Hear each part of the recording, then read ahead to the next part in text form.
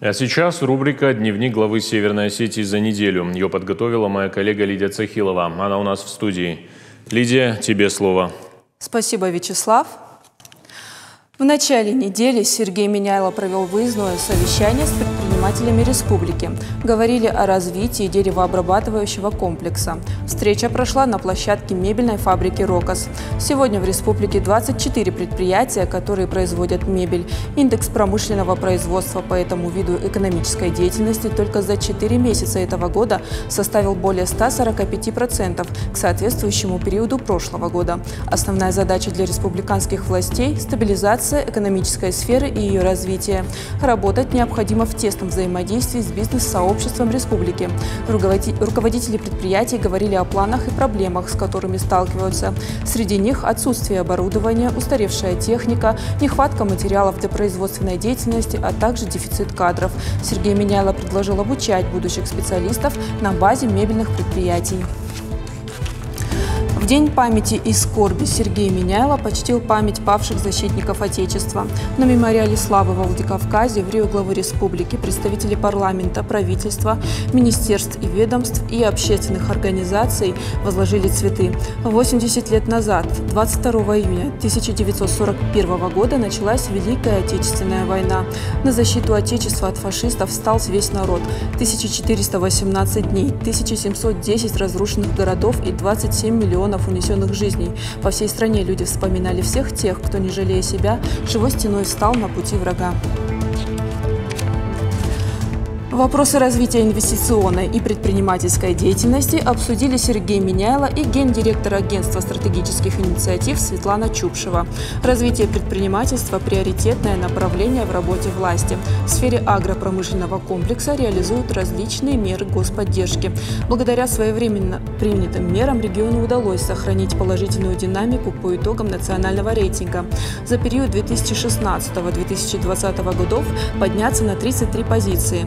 В этом году Северная Осетия заняла 13-ю строчку из 29 мест, где расположились 85 субъектов России. По итогам встречи стороны договорились о совместной работе над созданием модели развития региона. Строительство мусорного полигона в Северной Осетии возобновится в ближайшее время. Такое поручение дал Сергей Меняйло на заседании правительства республики. Работы будут вестись в рамках концессионного соглашения. Оно определяет условия взаимодействия инвестора с республикой, понятны затраты, которые несет инвестор и порядок их возмещения. Основная цель проекта – не допустить резкого повышения тарифа на вывоз мусора. В ближайшие три года он будет расти только в рамках существующей инфляции, а это примерно 4%. За исполнение исполнение мероприятий дорожной карты по переходу на условия государственно-частного соглашения будет отвечать МинЖКХ Северной Осетии. Напомним, месяц назад строительство мусорного полигона пришлось приостановить, так как отсутствовала инвестпрограмма, необходимые документы и понимание конечного результата. Северную Осетию посетил помощник президента России Максим Орешкин. Цель – оценить инвестиционную привлекательность региона. Федеральные гости посетили ряд объектов, в том числе и строящихся. Побывали на фермерских хозяйствах, футбольной академии «Алания», технологическом центре «Баспик». Там же обсудили развитие промышленного производства в республике. По мнению Врио главы, у каждого предприятия должна быть программа развития, чтобы власти республики могли оказать помощь, в том числе путем участия в различных федеральных и региональных национальных проектов. Максим Орешкин отметил, в Северной Осетии по каждому направлению есть потенциал для развития. И федеральные власти готовы поддержать регион. Федеральный гость побывал и на площадке будущего курорта Мамисон. Сергей Меняйло на месте рассказал Максиму Орешку, Орешкину о перспективах будущего круглогодичного курорта. Стороны обсудили план реализации одного из масштабных проектов, который окажет значительное влияние на социально-экономическое развитие республики. Использование бюджетных средств Северной Осетии станет более прозрачным благодаря внедрению системы казначейского сопровождения. Отныне казначейство России будет проверять муниципальные контракты на сумму свыше 10 миллионов рублей.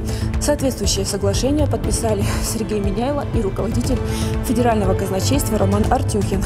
Детали соглашения они обсудили в ходе рабочей встречи. Систему казначейского сопровождения внедрили по инициативе Сергея Меняйла. Это позволит лучше контролировать целевое использование бюджетных транспортных средств Северной Осетии. Это была рубрика «Дневник главы за неделю». У меня на этом все. Вячеслав. Спасибо, Лидия.